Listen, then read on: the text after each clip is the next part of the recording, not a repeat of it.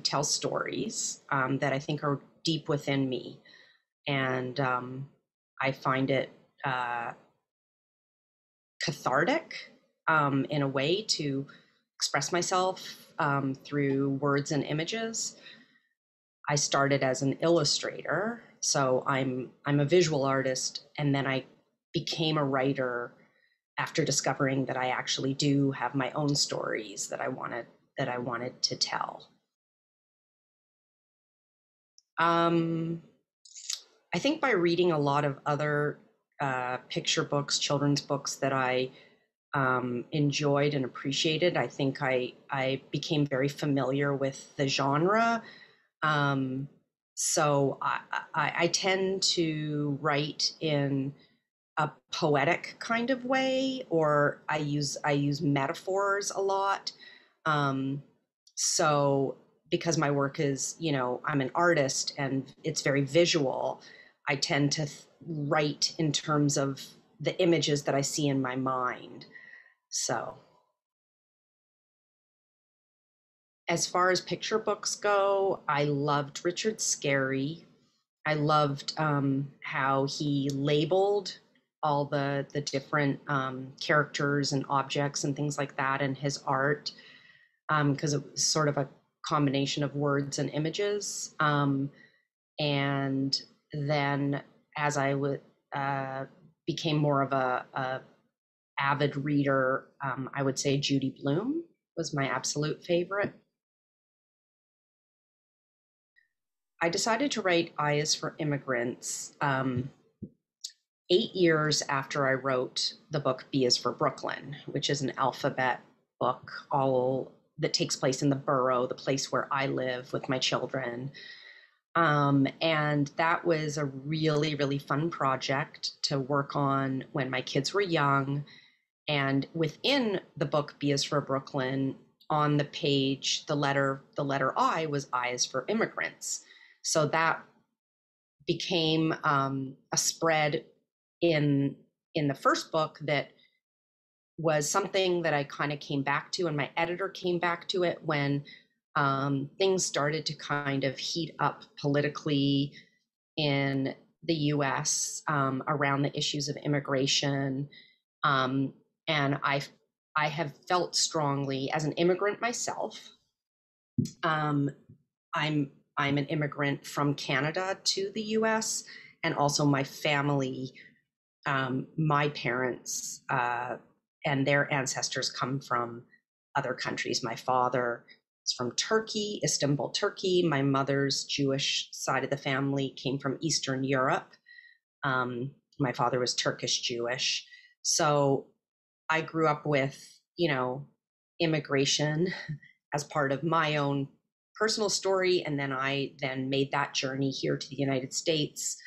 Um, so when um, you know these issues started to really um, become um, something that you know uh, uh, that you couldn't avoid. I mean the, the the the terrible things happening at the borders, and I just felt like I wanted to create a book that would be sort of a positive celebration of the things that I know to be true that that immigrants that people from all over the world that that move to the United States and come come here for a a better life or more opportunity. They bring so many wonderful and valuable um, aspects from their own cultures that help create the fabric of our rich american culture. So i really wanted to to do a celebration type of follow-up book to to brooklyn. And the thing that's nice about Eyes for immigrants is it has more of a universal appeal. It is not a regional book, it is an American book. Well, like I said, I was trained and I've always been a visual artist. So there's a lot of things I didn't know about writing. I feel like I kind of um, made it up as I went along, um, so to speak. So I work from a really intuitive place where I come up with ideas and then I just try to figure out a way to make it work. And kind of the nice thing about an alphabet book, now that I've done two of them, is that it's like a puzzle. So, you know, you've got the 26 letters of the alphabet, and you have to find things that work for each letter and and you need to kind of create a proper like balance um, and it, it's it's challenging and it's it's it's it's also really cool when you when you come up with words or things or objects or foods or whatever that go with a certain letter and that you didn't even know existed and this is all part of the research.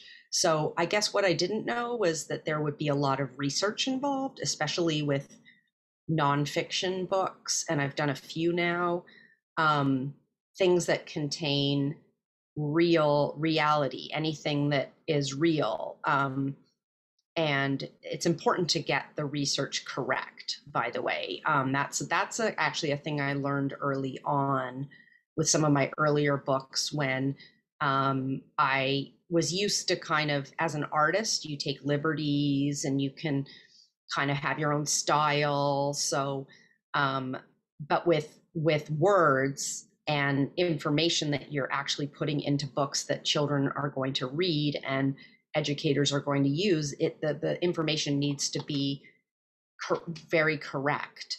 And um, you know in the beginning when i was first an author and illustrator um, i sometimes would there would be reviews of some of my words that corrected my mistakes so it became a thing that I've learned over the years how important research is and getting the facts right and getting, you know, the spellings of things correct. I mean, we have copy editors and other um, and and my and my own primary editor for every project that is supposed to help with all of that. But but you really it's it's at the end of the day it's my name on the book. So uh, you know it's important to get things right. Um i change my environment. So i, I find um weekend trips day trips hiking um before the pandemic i used to love to just go sit in a cafe and hear the buzzing sound of other people chatting and the music in the background. And um, because I, I sort of even though i'm slightly an introvert i'm also like i like to be around other people and i like to feed off of the energy of the environment around me. And the more conversations i have with people or you know experiences i have whether it's um, in nature or at a museum or an event or a concert or music it, it feeds it kind of feeds my soul. So if i'm stuck i i just try to have more experiences. And then i find you know some of it is literally habit and and it's it's it's forcing. Like i will sit down and i'll write lists and i'll you know i'll brainstorm and try to come up with ideas or i'll um, i'll work and then rework and rework. But then if you know because it, it's not always going to flow and the ideas don't always um, come sort of organically. If it's a lin- if it's a linear story with a beginning middle and an end then usually it's when the conflict or whatever happens in the middle when it's when it's resolved um, and it has to have a satisfying resolution. Um, in the case of an alphabet book usually ends with the letter z. Um, so yeah um, that's how. And then there's usually a lot of editing down and sometimes sometimes the ending can be the hardest part. Um, and that may take work um, and rework, rewriting, and rethinking. Okay. this is my book, I is for Immigrants. And um, okay.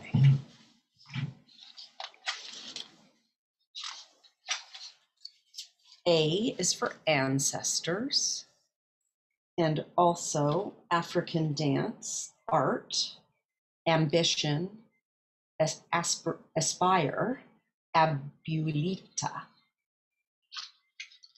B, B is for bodega and braids, baklava, belonging, bikes, bubble tea, books, and more. C, C is for Chinatown and culture, community center, creativity, children. D is for dreamers, dumplings, diversity, Day of the Dead. And E, E is for Ellis Island, education, endurance, evil eye empanadas. F is for food trucks, falafel, frankfurters, fish and chips, freedom flags, flea markets, fields, families, friends. My father wears a fez. And I put that in there because my father's Turkish. G is for genealogy, goals, guacamole, games. H is for holidays, heritage, hijabs, holy, hope, Hanukkah. I is for immigrants. And imagination and innovation, which are things that immigrants bring to our country.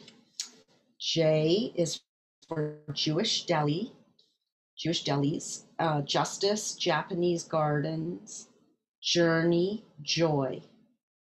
K is for kindness, kielbasa, kimchi, kabuki. L is for languages. And the late and L is also for La- Lady Liberty.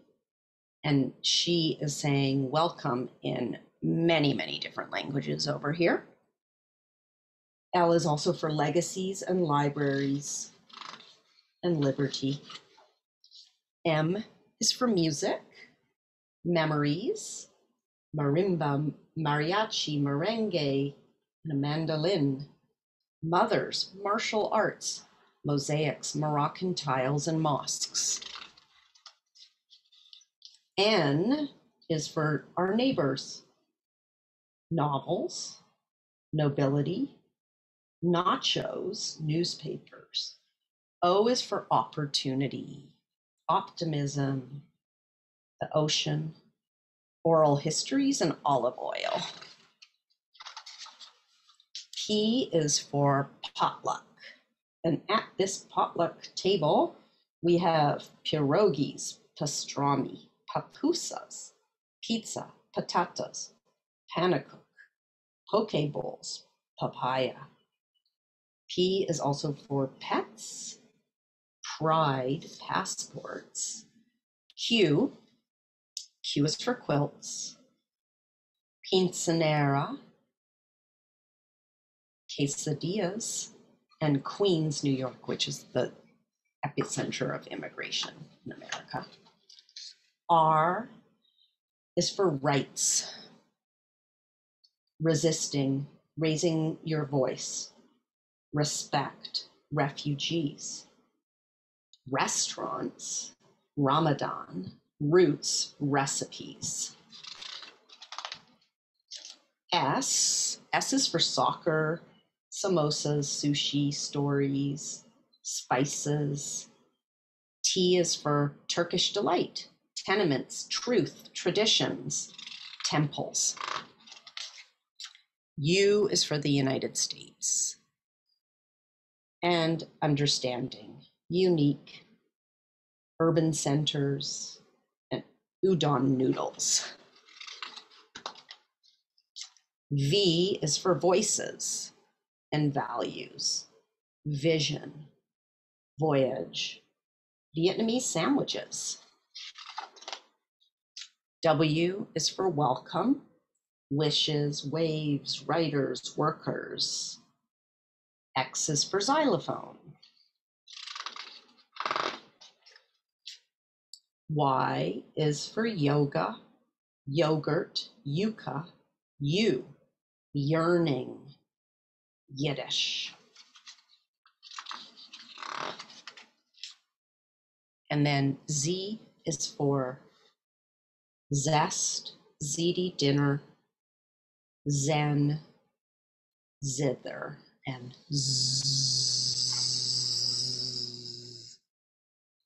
Go to sleep at the end. There's a little author's note at the back.